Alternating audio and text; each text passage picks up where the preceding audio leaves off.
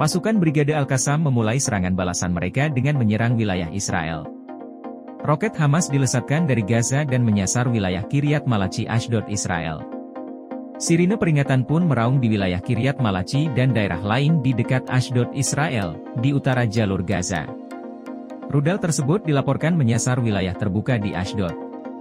Selain menyerang langsung wilayah Israel, Brigade Al-Qassam juga menyergap pasukan IDF di Tal Al-Hawa.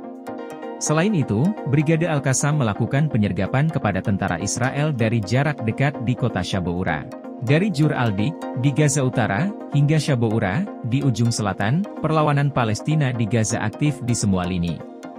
Selama penyergapan, Brigade Al-Qassam menghancurkan militan Israel dengan peluru Al-Yasin 105. Pasukan Hamas juga menghancurkan wilayah yang diduduki Israel dengan peluru mortir.